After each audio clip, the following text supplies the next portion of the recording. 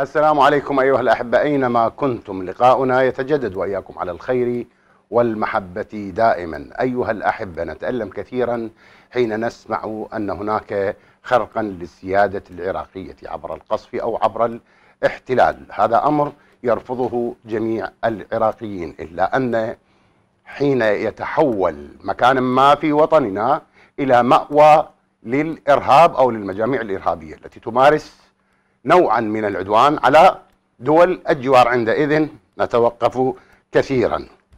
سعادة السفير الإيراني آل صادق أكد في أحد اللقاءات التلفزيونية على أنه قدم طلبا للحكومة العراقية ولحكومة أقليم كردستان في أن تنزع سلاح الجماعات التي تتخذ من أقليم, مركز آه، أقليم كردستان مركزا لتواجدها. ويجب أن يتم هذا النزع خلال عشرة أيام. موضوع حلقتنا لهذا اليوم هو حمل عنوان أقليم كردستان عش الدبابير.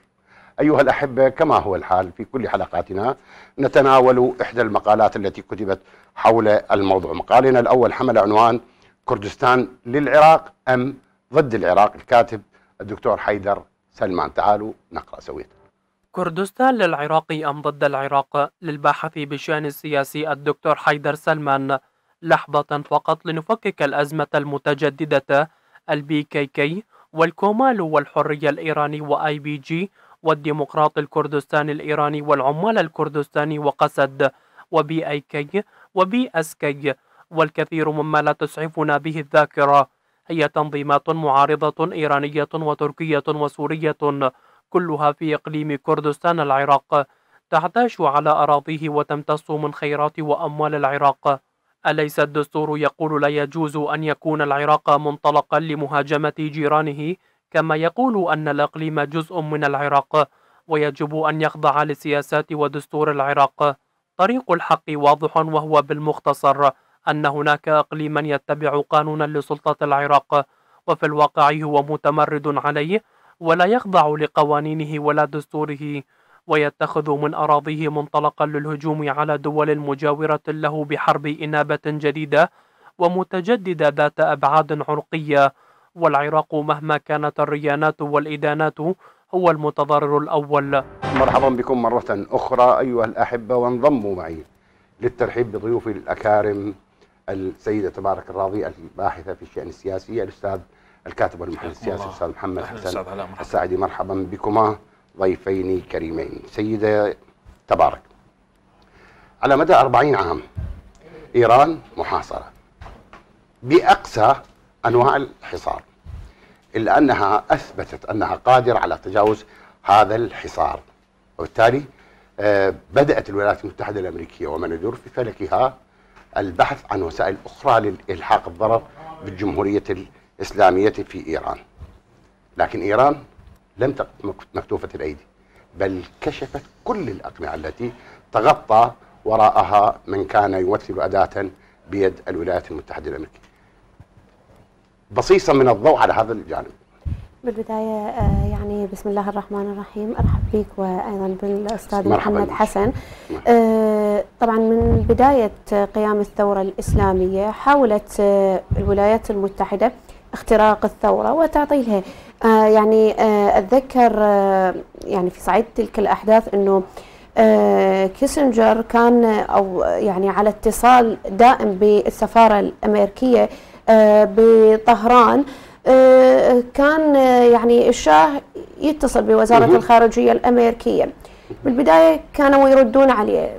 يريد يحاكي الرئيس الأمريكي يأجلونه إلى أن وصل مرحلة آه، ما قاموا أصلا يردون عليه بهذه الفترة يقول كيسنجر إنه إحنا سفارتنا بطهران. قالت لنا يا وضع الشاه منتهي والثورة الإسلامية منتصرة. حاولوا تفتحون علاقات مع الثورة الإسلامية مع القادة الجدد لإيران. لما فشلوا حتى بفتح علاقة على اعتبار إنه آه، آه، يعني الثوره يعني يعني الموقف يعني؟ الحازم من قوى الاستكبار مم. العالمي اللي تبناه يعني الإمام الخميني رحمة الله عليه فعلا لذلك بروز هوية إسلامية أخذت على عاتقها دعم القضية مم. الفلسطينية هوية إسلامية لا أحد خصوصا في المنافسة الأخيرة آه، بمحاولة خلق هوية أخرى آه، إسلامية بالوطن العربي فشلها لذلك إحنا نلاحظ بالفترة الأخيرة عمليات الاختراق آه، للجمهورية الإسلامية نشطت أكثر أمام الإنجازات اللي حققتها يعني الجمهورية تحقيق الاكتفاء الذاتي على عدة أصعدة، التطور في المجال العلمي، التكنولوجي، أيضا الطاقة النووية وغيرها. إحنا يعني نعرف يعني عفوا عفوا أستاذة تبارك يعني نعم. يعني إحنا اذا نباوع على الليستة اللي حقق الليستة الخاصة بالإنجازات الإيرانية. سواء على المستوى الطبي على المستوى النووي على المستوى الاقتصادي نجدها مكتظة بالمنجزات. نعم صحيح. وهذا بالتأكيد يعني على على المستوى الطبي آه، آه، يعني الجمهورية الإسلامية حققت كثير من التقنيات تقنية النانو النانو تقنية يعني الخلايا الجذعية زراعة القلب والكبد. وهذه يعني عمليات أو مراحل صعبة. الأنظمة الطبية المتقدمة ربما لا زالت آه، يعني في طور آه، تطويرها أيضا على صعيد السلاح النووي الاكتفاء الذاتي العسكري بالأسلحة الدفاعية ومن ثم التحول حتى للطائرات. وإحنا شفنا يعني الفرق اللي أحدثته الطائرات الإيرانية بالحرب الروسية الأوكرانية.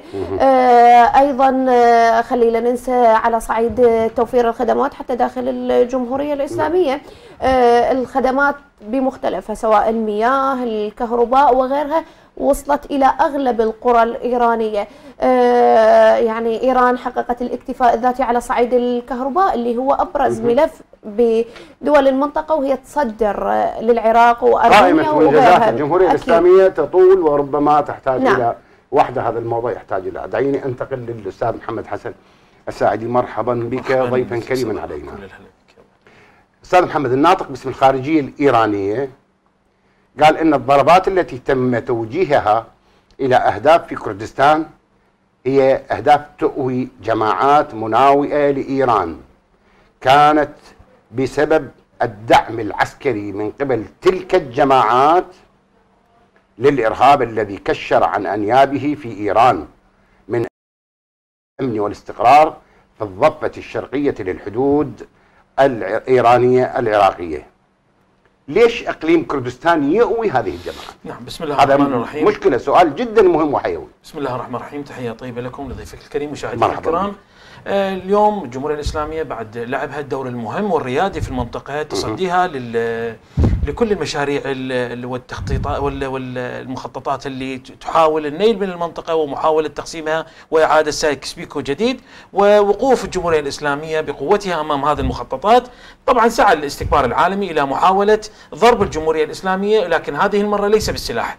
وليس بالمواجهة العسكرية لكن من خلال ضربها بزعزعة الاستقرار في داخله. لذلك آه، سعت خلال من خلال عصابات إرهابية آه، موجودة في إقليم كردستان آه، تأوي حوالي أكثر من 74 معسكرا تضم الكثير من العصابات الإرهابية الخارجة. هذا موثق يعني؟ نعم نعم هذه معلومات أكيدة. 74 معسكر معسكر تدريبي موجود الجماعات الإرهابية. في إقليم كردستان.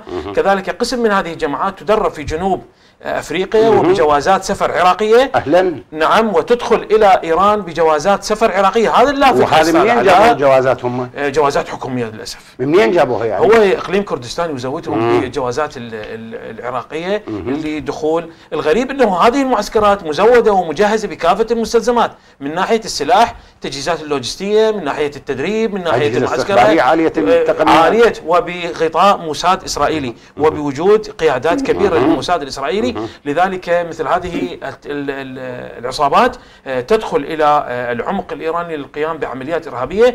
ثبت من خلال العمليات ومن خلال المعلومات التي يعني نتابعها ونراقبها من خلال العمق الإيراني. يعني من خلال بعض القيادات هناك أن أكثر العمليات الإرهابية في داخل العمق الإيراني تأتي من خلال هذه المعسكرات. لذلك هسه إحنا مو جاي ندافع عن ايران ضد بلدنا. لا لكن إحنا حقيقة نتألم لما قاعد يدور به. ليش موقف إقليم كردستان بهذه بهذا السلبية من الجمهورية الإسلامية؟ وليش الوقوف دائما موقف المعادي للجمهورية الإسلامية بإيواء مثل هذه العصابات الإرهابية ضد الجمهورية الإسلامية والتي تمثل آه، خط الصد أمام آه، العصابات الإرهابية التي تجينا من أفغانستان وباكستان. بالتالي اليوم أنا بدل ما أوقف موقف الإيجابي من هذا من موقف إيجابي من الحكومة آه، الجمهورية الإسلامية ليش أوقف أقف بهذا الموقف السلبي بإيواء هذه العصابات الإرهابية واللي تدخل وتقوم بعمليات إرهابية وباستخدام السلاح؟ لقينا اليوم أسلحة أكثر من 10000 قطعة في داخل هذه المعسكرات. وأكثر من هذا العدد في داخل الأجواء وفي داخل العمق الإيراني وفي مختلف المدن والقيام آه، بعمليات القبض على أعداد كبيرة, كبيرة. من الاسلحه التي تهرب عن طريق الحدود المشتركة بين نعم. أربيل السليمانيه آه، إيران. أستاذ على اللافت إنه التركيز على الشباب. والتركيز على القنوات الإعلامية اللي تتحدث باللغة الفارسية. وهي داعمة لهذه العمليات واللي داعمة واللي آه، نراها للأسف. أعمال الشغب التي تحصل في الجمهورية الإسلامية كان الفاعل الأساسي فيها هو العناصر المتواجدة في بدعم كردستان العراقي بدعم إعلامي خطير جدا يعني آه، آه، بقيام بهذه العمليات. ورق عمليات نعم. نعم بغطاء موساد إسرائيل للأسف. سيدة تبارك إيران كانت الملاذ الآمن لكل أطياف المعارضة العراقية وبخاصة الأخوة الأكراد. وبشكل أخص يعني حين كان يطارد آل البرزاني كانوا أول محطة كانت أول محطة لهم هي الجمهورية الإسلامية. شنو اللي صار بحيث صارت صار آل البرزاني هم رعاة الحركات الكردية الانفصالية التي تمارس أعمالا إرهابية تخريبية في الداخل الإيراني؟ يعني أستاذ علاء يمكن هذا الموضوع أو التاريخ بعيد أكو تاريخ أقرب اللي هو سقوط المحافظات بيد داعش أول أحسنت. من انبرى للدفاع عن كردستان نعم. هم الإيرانيين نعم. بشهادة السيد مسعود برزاني نعم صحيح قال أول من اجى وعرض خدماته لحماية كردستان الجنرال قاسم سليماني. قاسم رحمة الله عليه. ولما سألته المقدمة قالت ماكو غيره قال لها هم الأول.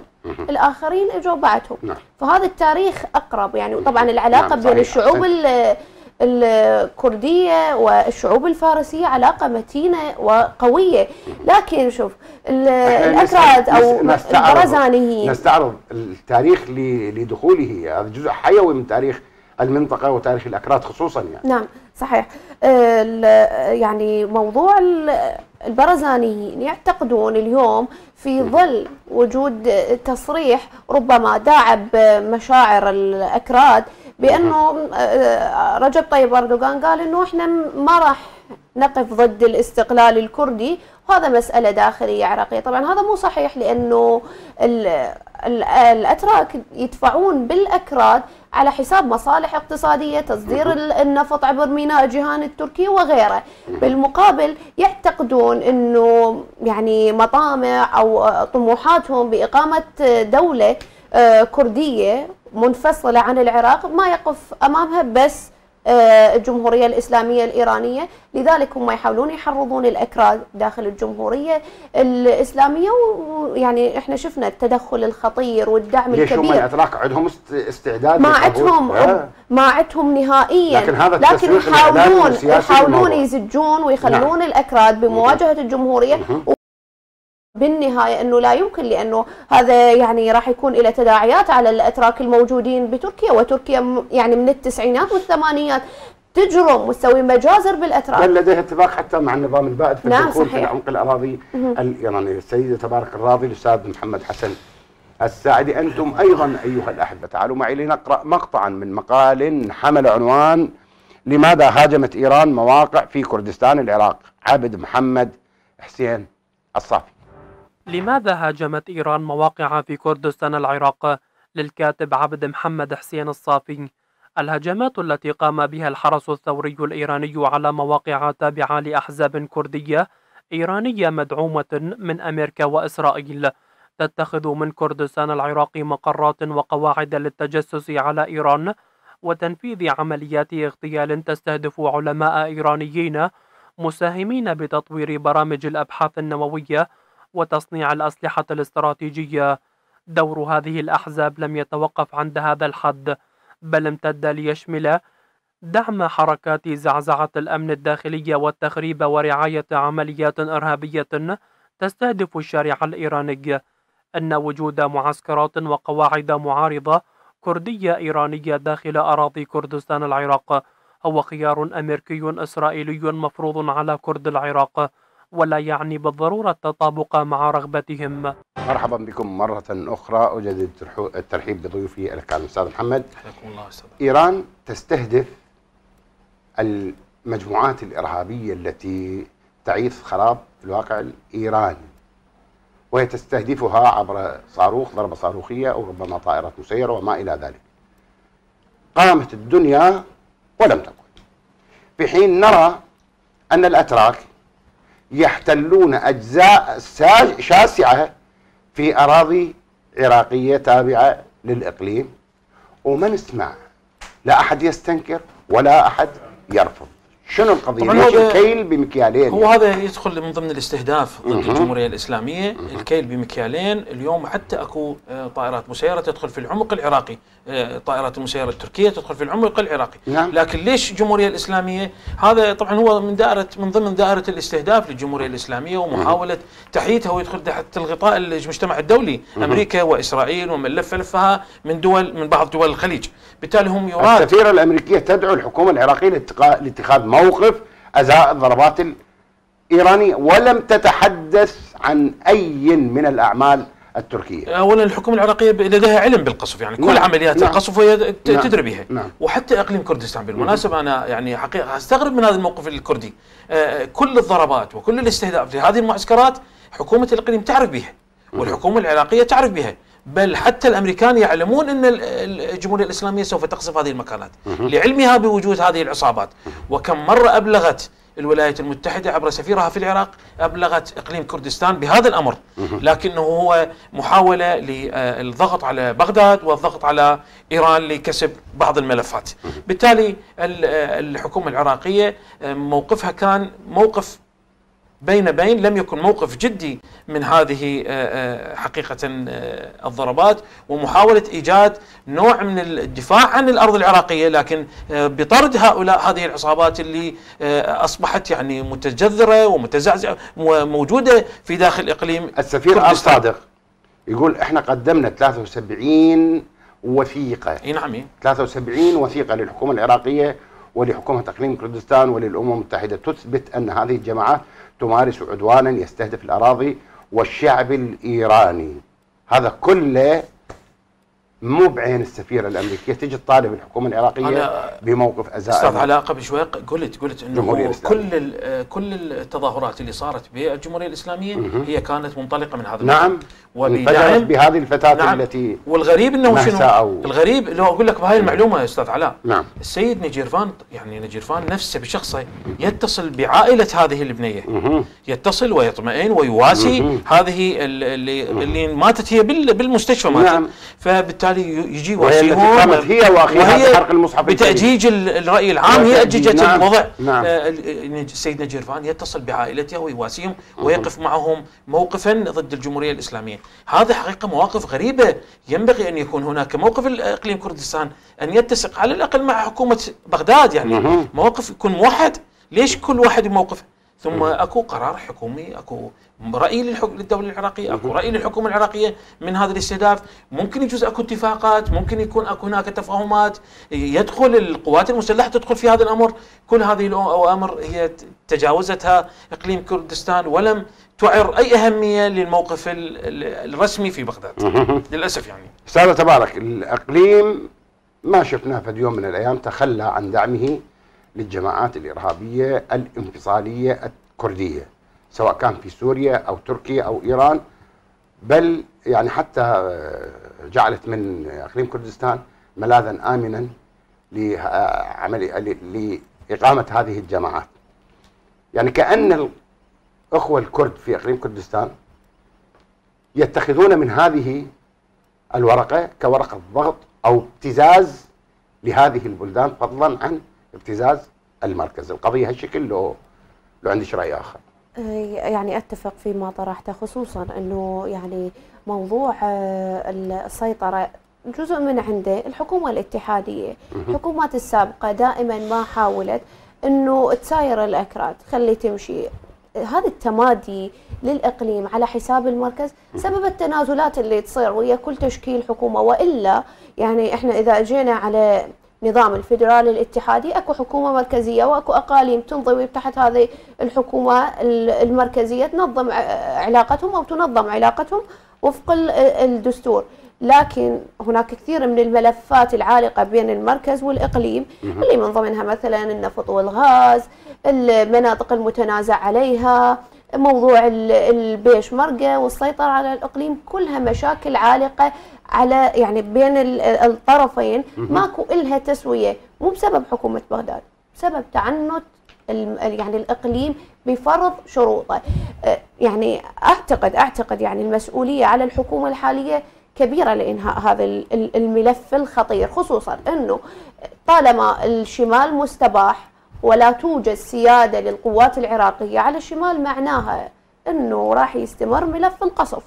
يوم تركيا هسه ربما الازدواجية بالتعامل مع هذا الملف واضحة. ذكرت حضرتك السفيرة الأمريكية في بالوقت نفسه كان هناك عملية عسكرية تركية بعد بعد نعم. الانفجار اللي حصل بإسطنبول. نعم. عملية تركية عسكرية مصرح بها على الشمال السوري والعراقي. والجريمة الكبرى التي ارتكبتها الطائرات التركية في قصف المصيف والذي راح ضحيته نعم. عدد كبير من أبناء النجف وأبناء الوسط يعني والجنوب هي هذه الازدواجية بال... بال... بالتعامل مع يعني نعم. الانتهاك طيب نشوفه بس الاحتلال ما نشوفه يعني بعد نعم. يعني إحنا شفنا أن آه، طموحات الأخوة الكرد يعني قوبلت برفض حتى من قبل حليفهم الولايات المتحدة نعم. الأمريكية حين ذهب الاقليم إلى إجراء الاستفتاء نعم صحيح يعني. فشنو اللي تريد كسبه من خلال زعزعة أمن الدول الأربعة؟ يعني إذا تتذكر أستاذ علاء بوقتها كان الرفض واضح خصوصا نعم. إنه كردستان ترى ما تمتلك مقومات لا الاستقلال مقومات دولة نعم إحنا شفنا البيشمركه خو كشف ضعفهم باحتلال داعش نعم. تركوا أسلحتهم وما نعم. ما واجهوا داعش نعم. وبالتالي اضطر الإقليم إنه يجي الجنرال قاسم سليماني يدافع عن الإقليم ويدعم القوات الكردية بمحاولة الحفاظ على يعني كردستان من الاجتياح حتى موضوع الجانب الاقتصادي كردستان تحتاج على آه، الحكومة في بغداد وبالتالي ما تمتلك بغض النظر عن المشاكل اللي يثيرها مثل هكذا موضوع بمنطقة الشرق الأوسط والولايات المتحدة بهذه الفترة طالما أنه هي يعني متجهة لإدارة المنطقة من الخارج ما راح تخلق ملف مع عدم قدرة الأكراد على يعني إدارة دولة بكامل. هو ما يثيره بالنسبة لتركيا وتركيا حليف للولايات المتحدة وجزء من يعني الناتو وأيضا ما يثيره من مشاكل. لكن هي مجرد محاولات لزعزعة الأمن والضغط على بغداد ومن ثم الضغط على آه، آه، الإيرانيين بهذا الملف وهم الأكراد أعتقد يعرفون. لذلك يعني بعد أن فرضت الحكومة العراقية السيطرة على كركوك وغيرها شفنا الموقف الكردي في ظل يعني آه، رفض دولي وموقف عربي موحد يعني بعدم دعم الانفصال أو انفصال كردستان. شفنا إنه الخطاب خف والليونة خفت. يعني زادت عفوا. نعم. أستاذ محمد هناك من يقول أن في الدول الأربع المكون الكردي ممسوك بقبضة قوية من قبل أنظمة هذه الدول الثلاث إيران تركيا وفي الآونة السابقة كانت سوريا. ولا توجد لهم مساحة يمكن أن يتحركوا بها بشكل غير خاضع للرقابه لرقابة المركز. اللهم نعم، إلا نعم، في العراق. نعم. الذي آه، تفتقد فيه السلطة المركزية قدرتها على أن تمسك بهذا. الإقليم هذا الأمر هناك من يقول أن هذا الأمر هو ما دفع قادة الإقليم لأن يتبنوا كل الحراك الكردي في المنطقة لإشباع رغبات بعض العوائل لتكريس زعامتها كيف تقرأ الموضوع أه خلي نرجع للزعامة طبعا نعم. الزعامة إذا نلاحظ على رئاسة الإقليم هي رئاسة الإقليم بيد يعني عائلة موحدة جيد. والنائب من نفس العائلة نعم. والنائب الثاني من نفس العائلة نعم. رئيس الحكومة كذلك من نفس نعم. العائلة نعم. هو هذا تكريس لكل القرار السياسي والسيادي هذا جانب الجانب الآخر أنا أؤكد لك أنه هواية أكو من من حزب الاتحاد الديمقراطي الكردستاني هو ممتعض من هذه الإجراءات وهو غير غير راضي عن هذا الاستفراد بالقرار والسيطرة على القرار السياسي الكردي. الجانب الثالث هو آه، محاولة الانفتاح عندما وجدت وجد حكومة إقليم كردستان آه، عدم يعني ضيقها من كل الجوانب بدأت بالانفتاح على القوى الكبرى. وشفنا شفناها شلون انفتحت على الولايات المتحدة وجدنا أكو شعب في داخل إقليم كردستان شعب آه، اسرائيليه كل هذا حتى يقوي موقفها في الإقليم وتكون ند قوي للحكومة المركزية.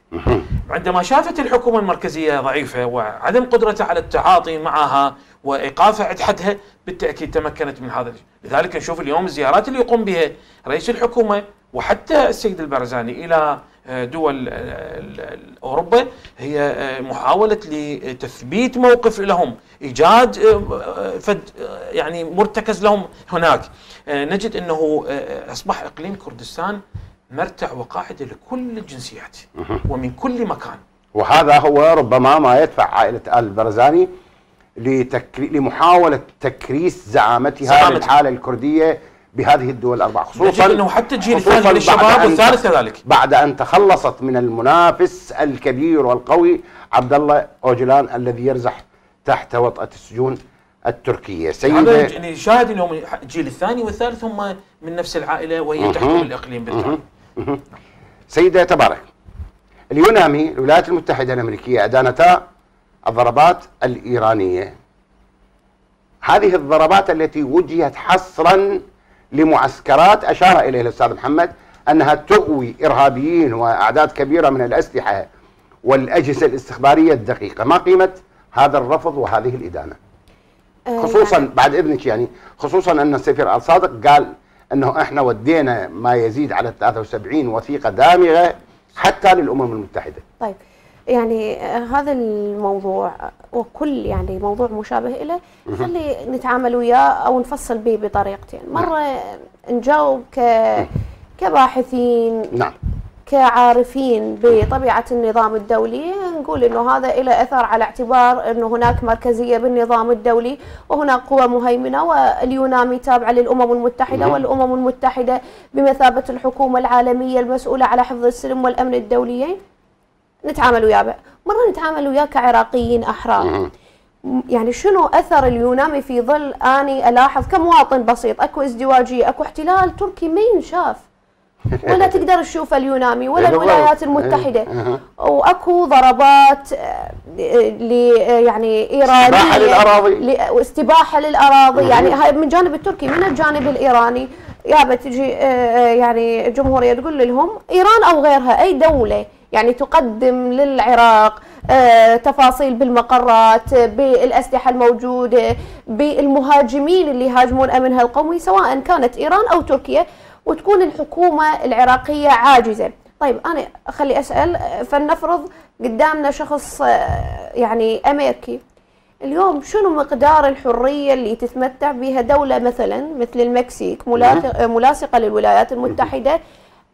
من حرية باتخاذ سياساتها على الأقل الداخلية مو الخارجية. تتمتع المكسيك بحرية من دون تأثير الولايات المتحدة. طيب الولايات المتحدة وهي في جزء الكرة الغربي تجي بالشرق الأوسط تحمي مصالحها بالجزء الآخر من الكرة الأرضية تحت حجة حماية المصالح الأمريكية، حماية الأمن القومي الأمريكي، الأمن القومي من جانب لجانب من الكرة الأرضية لها حق تحميه. في دولة ملاصقة نعم دولة ملاصقة نعم لدولة أخرى هناك احتراض وإدانة. نعم. فهذه تبقى يعني تحددها المصالح الأمريكية طالما هي بالمكيالين نعم اللذان لا يحتكمان إلى العقل والمنطق. السيدة تبارك الراضي الأستاذ محمد حسن الساعدي أنتم أيضا أيها الأحبة نقرأ سوية مقطعا من مقال حمل عنوان لأجل من نخلق مبررات اجتياح العراق الكاتب ماجد الشويلي. لأجل من نخلق مبررات اجتياح العراق للباحث بالشأن السياسي ماجد الشويلي كيف سيكون المشهد لو أن إيران اجتاحت المناطق الشمالية حماية لأمنها في ظل احتلال تركيا لمناطق شاسعة في الإقليم للسبب ذاته؟ صحيح أن تركيا اتخذت من ملاحقة حزب العمال ذريعة وأنها تمادت في الأمر لأن لها أطماعا استراتيجية في العراق وسوريا. وإيران لم تقم بخطوة من هذا القبيل. لكن على فرض أن إيران اضطرت لدخول إقليم كردستان فأي بلد يحترم نفسه يستسيغ مشهد وجود اجتياحين من دولتين جارتين في وقت واحد ولسواد عيون من؟ لأجل عيون منظمات إرهابية مدعومة من أمريكا وإسرائيل. إنه للعجب العجاب. مرحبا بكم مرة أخرى وأخرى. أجدد الترحيب بضيوفي الأكارم أستاذ محمد يعني أكو اتفاق إيراني عراقي على نزع سلاح هذه الجماعات التي تتخذ من إقليم كردستان وكرا لممارسة اعتداءاتها على الجمهورية الإسلامية، هذا الإجراء هذه الاتفاقية الحكومة العراقية قادرة على أن تتخذ إجراءات لنزع سلاح هذه الحركات طبعا هي هذا مشكلة يعني. اي هي مشكلة أمام الإقليم. إحنا عندنا أه. مشكلة أمام أمام المركز يعني مو أمام الإقليم؟ اي مشكلة المركز أمام الإقليم. جيد. الحكومة العراقية اليوم في موقف يعني حقيقة حكومة السيد السيد السوداني بإرادتها تملك إرادة قوية. نعم لديها نعم. دعم. السيد السوداني دعم عازم على أن يبني دولة. آه يعني ولدها دعم قوي من قبل كل القوى السياسية. نعم. لديها دعم اقليمي جيد ودعم أوروبي يعني من المجتمع الدولي. لذلك اليوم عليها وزيارة نجيرفان اليوم إلى بغداد. أعتقد تدخل من ضمنها ملف الاعتداءات الأخيرة واللي آه، وجود العصابات الإرهابية سواء كانت آه، المعارضة للجمهوريه الإسلامية أو المعارضة آه، حزب العمال الكردستاني، لذلك من ضمن الملفات المهمة التي سوف يناقشها السيد السوداني مع نجيرفان هي هذا الملفات. أكو شغلة جدا مهمة، الإطار التنسيقي وحتى السيد السوداني الحكومة العراقية كلها أجمعت على أنه هذا الملف هو مو ملف تابع لحكومة كردستان. ما ممكن اليوم تفصل به هي حكومة إقليم كردستان. نعم هو هذا الملف عراقي تدير الحكومة العراقية. نعم. إحنا اليوم هذا من مختصات المركز. إحنا اليوم دولة لو نص عليه الدستور العراقي. إحنا دويلات لو دولة. إحنا اليوم دولة حدودها من من دهوك إلى الفاو. نعم. هذه حدود بلدنا. نعم. لذلك اليوم هذا الملف يجب أن يقاد وأن يدار من قبل حكومة السيد السوداني حصرا وأن يكون هناك موقفا دبلوماسيا وأن يستوجب ذلك إلى زيارات متبادلة بين الجمهورية الإسلامية وبين العراق.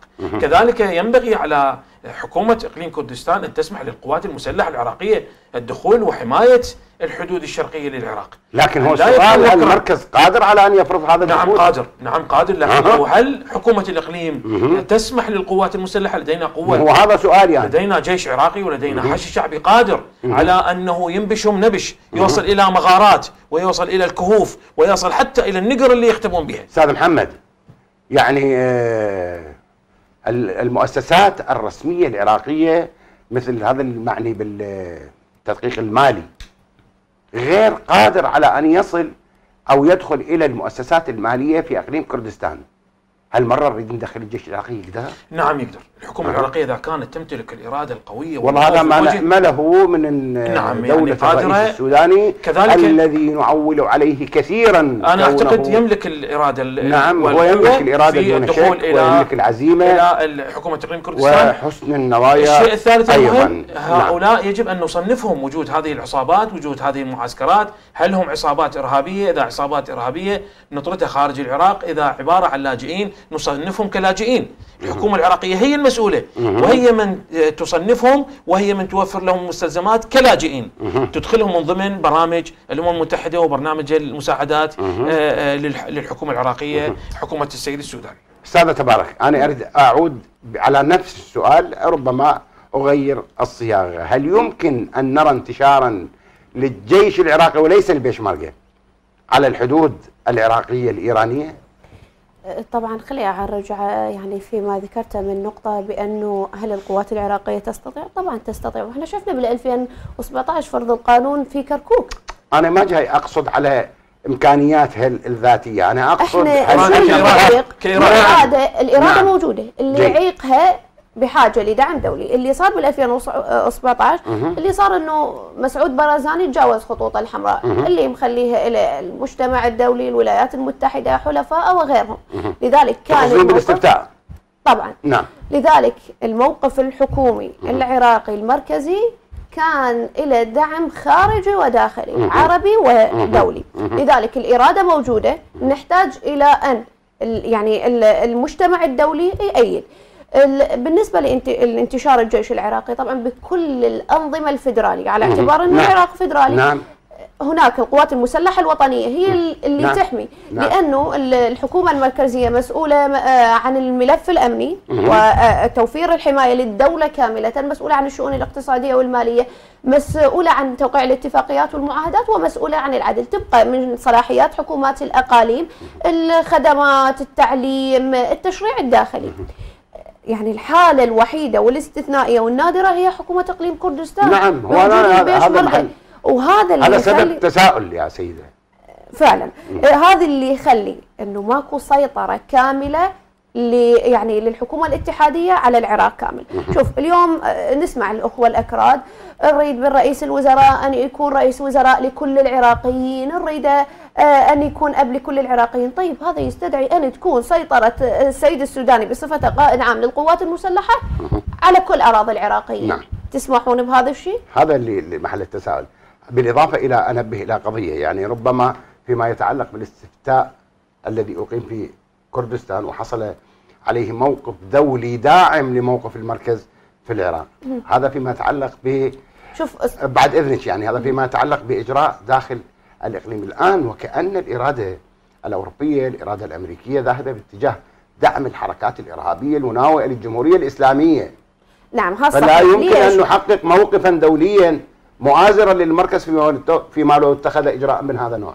نعم خصوصا إنه يعني الولايات المتحدة ما تريد تخوض حرب مباشرة مع نعم. الجمهورية الإسلامية نعم. لذلك تعتمد على إنه الاختراق من الداخل عبر نعم. الحركات الانفصالية نعم. رغم إنه هي تفشل في كل مرة إحنا يعني دائما بالتظاهرات نشوف الاختراق مرة على صعيد دبلوماسيين حتى يكونون متورطين بهذه الأعمال ويمكن شفنا مرة اعتقلت القوات الإيرانية آه، السفير البريطاني أو يعني دبلوماسي نعم. بريطاني كان نعم. من ضمن حركات الاحتجاج وأيضا غيرها عمليات الاختراق باستهداف شخصيات يعني علماء بالبرنامج النووي وغيرها لذلك يعني هذا يعني الملف ملف الاختراق متوجه لشخصيات إسرائيلية بالإضافة لشخصيات أمريكية لكن الأمر متعلق بحكومة بغداد، اليوم إذا نريد دولة قوية موحدة يعني أن تكون سيطرة الحكومة المركزية في بغداد خصوصا أنه هذا ما يتوافق مع كل الأنظمة. إحنا نريد نظام فيدرالي؟ إذا النظام فيدرالي أكو سيطرة مركزية على كافة الأقاليم التابعة للدولة صلاحيات محددة للإقليم وللمركز. نعم صحيح. نعم. وأنا ذكرت لك أنه الحالة الاستثنائية هي حالة حكومة إقليم كردستان. وطالما اليوم يعني حكومة السيد السوداني يعني بإمكانها تمتلك كل الأدلة والوسائل اللي تستطيع من خلالها فرض الحكومة يعني أقصد فرض السيطرة الحكومية.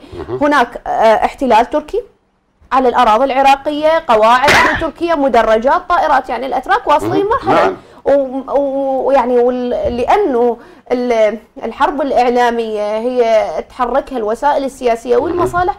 لهذا ما نشوف إحنا أي ذكر في مواقع التواصل في قضاء يعني من يتحول الموضوع لقضية رأي عام ما نشوف أي واحد يجيب طاري أكو احتلال وقواعد تركية. يعني أنا شوف إحنا الموضوع ما متعلق فقط بقرارات حكومية. اليوم إحنا كعراقيين إحنا نريد بلدنا يبقى واحد موحد الأمر ما متعلق فقط بسيطرة بغداد على شمال العراق. إحنا عراق واحد موحد رغبتنا كل العراقيين ما يرغبون بانفصال الأكراد أخوتنا نشترك وياهم بالتاريخ نشترك وياهم بالأرض. لذلك أي محاولة انفصالية يجب أن تقمع وتنهى. هذا تقسيم العراق وتحويله لدويلات صغيرة ما يتبغى يعني ما يخدم غير المخطط الصهيوني الأمريكي بالمنطقة، لذلك يعني أنا مرات يعني برحد أقرأ بالتعليقات للسفيرة الأمريكية بحسابها. يعني أقول الحمد لله إنه العراقيين بهذا الوعي قالوا لها أنت ما تشوفين أكو احتلال تركي على الأرض وقواعد عسكرية نعم تجين على انتهاك. يعني الحمد لله إنه العراقيين مؤمنين بفكرة الوحدة، مؤمنين بفكرة أن يكون العراق واحد كامل من دون أي تقسيم ومؤمنين إنه مشروع التقسيم هو مشروع أمريكي صهيوني. أستاذ محمد إيران إجت بريطانيا وقرصنت على إحدى بواخرها نعم. قرب جبل طارق. الولايات المتحدة الأمريكية حاولت أن تطير أحدث طائرة بلا طيار للتجسس فأسقطتها إيران. إيران عند اغتيال القائد سليماني قصفت عين الأسد بعشرات الصواريخ. الآن تجي أمريكا تريد من إيران أن تسكت وهي ترى معسكرات تؤوي جماعات إرهابية تستهدف أمنها. إيران تستسيغ هذا الأمر. الجمهورية الإسلامية لن تسكت. يعني يعني نتوقع إحنا إيران تسكت. تعالوا خلي نخترق حدودكم ونخترق مجتمعاتكم أبداً أبداً أبداً. ونبدي باغتيال القادة ونخرب المواقع المهمة. وأنتم عليكم تسكتون. طبعا من ضمن البرنامج النووي داخل قضية استشهاد سليماني. نعم. واشترطت الحكومة الأمريكية إنه هذا الملف يكون ينغلق جيد ورفضت الحكومة الإيرانية رفضا قاطعا هذا نعم. الحديث في هذا الأمر نعم. لذلك الجمهورية الإسلامية لن تسكت وسوف ترد بقوة. ردت بصواريخ على هذه المعسكرات وسوف ترد في أماكن أخرى. سواء كانت في سوريا في اليمن في أي مكان. حتى سوف تستهدف زائر سليمان ما ينترك يعني. ما ينترك وسوف تستهدف المصالح الأمريكية في الخليج.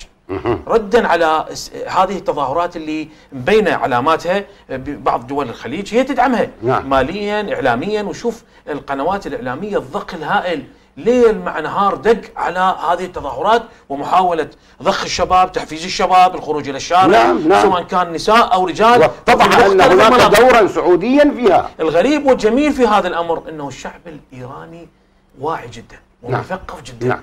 ومتماسك جدا مع حكومته.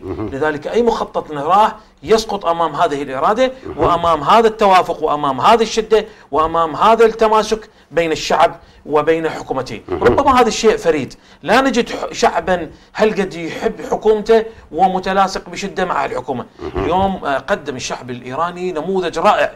في تمسكه بحكومته رفع راية الانتقام لهؤلاء الشهداء القوات الأمنية اللي راحوا ضحية العصابات. آه، طلبوا آه، ضرورة الانتقام من هؤلاء العصابات. لذلك آه، حقيقة نموذج كلش رائع. موقف إيران في يعني الموقف القانوني للجمهوريه الإسلامية. القانوني هي ما يعني لا تجاوزت على أحد ردت دافعت عن وجودها وأمام آه عين العصابات. وبعلم الحكومة العراقية سواء كانت حكومة إقليم كردستان أو الحكومة العراقية المركزية. وبعلم المجتمع الدولي حين الدولي والأمريكان كلها تدري بهذا الأمم المتحدة بذلك. أيها الأحبة نعم. أنا أتقدم بشكر جزيل لضيوفي الأكارم. كما آه بودي أن أقرأ ما كتبه المعد الإعلامي قاسم العجرش من خاتمه. يفرح كثيرا من أدعياء السياسة من أولئك الذين تستهويهم. أناشيد يا حوم اتبع لو جرينا وهلهول البعث الصامت بما يجري في إيران هذه الأيام من أحداث. تقف وراءها أجندات إرهابية مكشوفة المصادر والمقاصد والأهداف وهو فرح الأغبياء. فما يجري هناك سيكون له صدى هنا. وصداه عودة الإرهاب إلى العراق وهو أمر باتت ملامحه السوداء بانت ملامحه السوداء في كركوك وصلاح الدين والديالة مؤخرا. علينا وعلى حكومتنا أن تجنب بلادنا هذا الشرر المستطير وأن نفهم جيدا اللعبة وأن نقرأ ما بين تصريحات السفيرة الأمريكية على أنه تهديد صريح فج ومكشوف. في أمان الله.